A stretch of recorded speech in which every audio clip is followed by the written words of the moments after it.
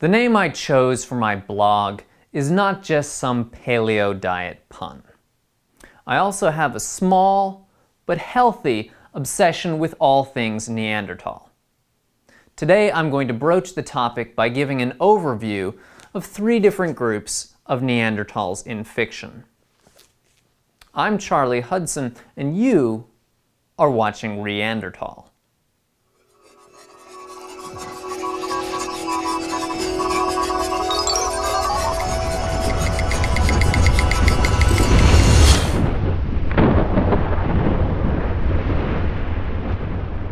Ah, uh, we're just gonna have to fi- feckin' start it again, Brad. Damn it! Damn it! Start it again, Brad. Today I'm going to compare fictional Neanderthals from three different authors. From the Neanderthal Parallax trilogy, we have Barasts. From Clan of the Cave Bear and The Girl Who Invented Everything series, we have The Clan. And from Dance of the Tiger, we have The Whites, with a brief cameo by the Reds. I want to keep this short, so let's get to it. Now, at least in the past, there has been some disagreement over whether Neanderthals had language. Recent evidence suggests that, at the very least, they would have been unable to pronounce the E phoneme, like E in Mary. So where do our authors come down on the question of Neanderthal language? Well, first, they all agree that Neanderthals had language, hence their group names, but all three, to varying degrees, do limit the Neanderthal ability to vocalize. But each author does make up for this limitation by giving their Neanderthals another dimension for communication. Robert J. Sawyer, the most contemporary author, withholds only the E phoneme, and in exchange, he gives them conscious awareness of pheromones. Jean M. Auel the second of these three authors withholds many sounds, but she gives a rich and subtle language of gestures in return.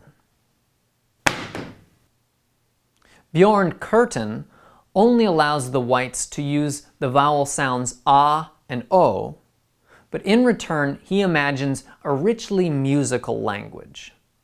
So, now that our Neanderthals can speak, what do they call their sapien sapien cousins. Gliksins, others, and blacks, and sometimes gods and devils.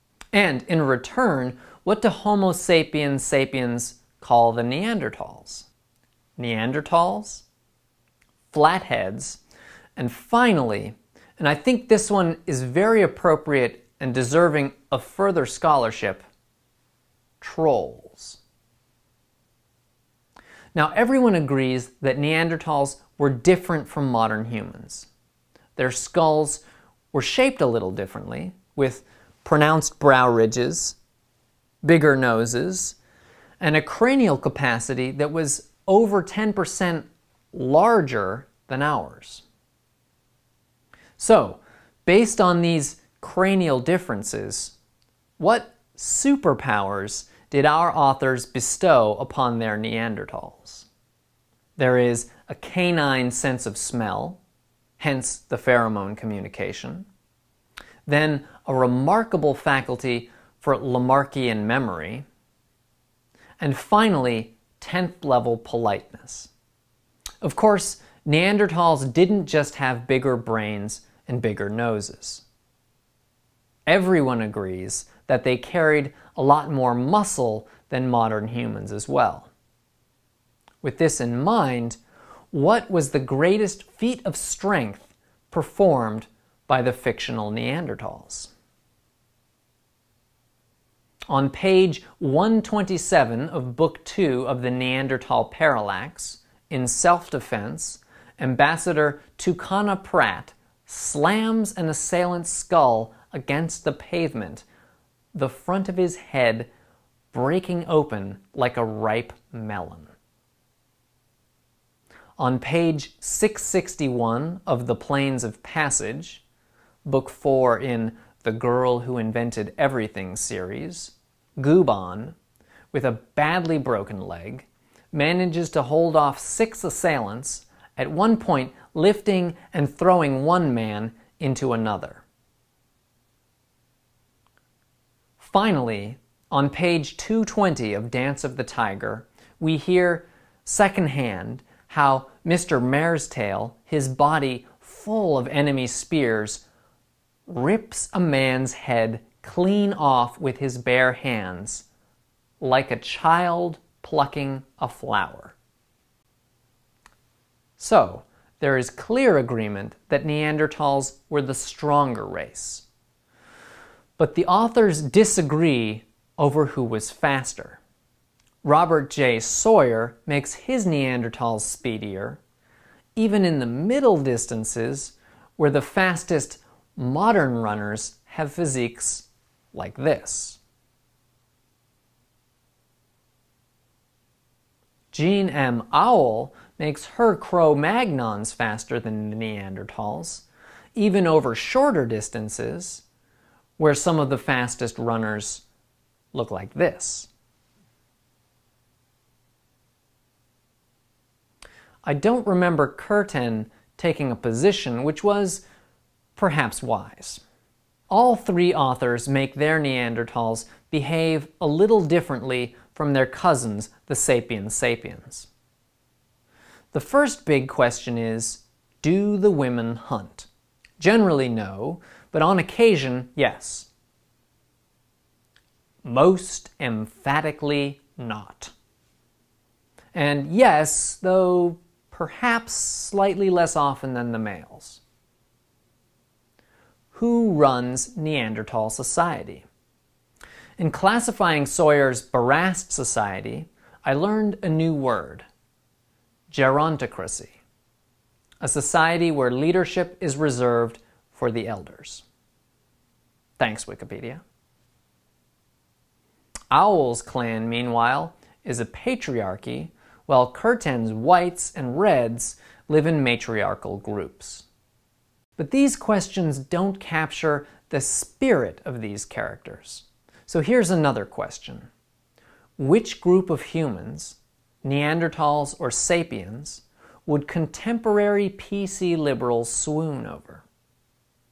In Sawyer's world, it would have to be the Barasts, who are Spock-like, ecologically minded socialists. In Auel's universe, on the other hand, it would have to be the others, because the clan are narrow-minded social conservatives. In Kurtén's world, the whites would have some appeal as peaceful flower children, but their manners and social customs make the inhabitants of Downton Abbey look downright uncouth. And they would not be TED Talk listening, Kickstarter funding bandwagoneers. For PC liberals, the whites would be like the Amish, a curiosity to be appreciated and perhaps preserved, but not a group you'd marry into. Finally, we're going to have to talk about intelligent design. Of course, the Neanderthals in our universe were the product of evolution. But the Neanderthals in these books were created by intelligent beings and placed in their worlds to play certain roles and fulfill specific destinies. So the question is, what is the primary function and purpose of the Neanderthals in these works of fiction? The primary function of the Barasts is to shame modern human readers for the violence, greed, and irrationality of their contemporaries.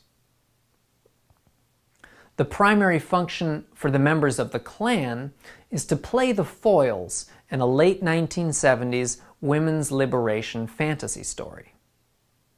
And Most tragically, the role of the whites is to play the victims in an extinction mystery novella. All of these works have their strengths and weaknesses. Though they do come to different conclusions at times, all three authors have clearly done their homework.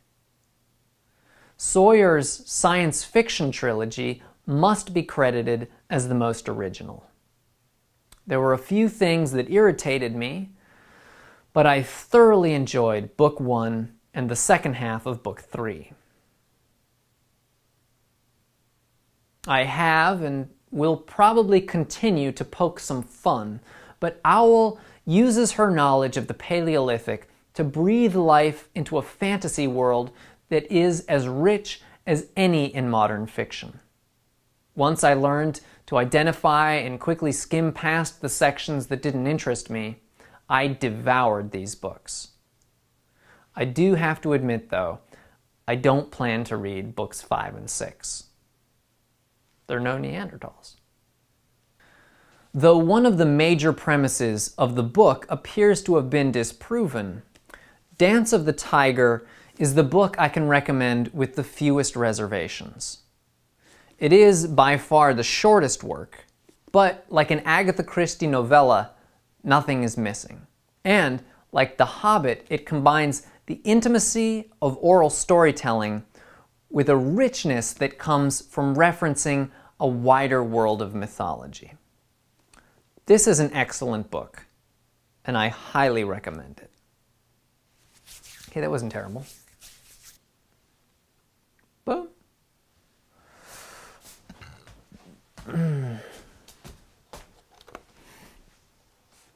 vâng.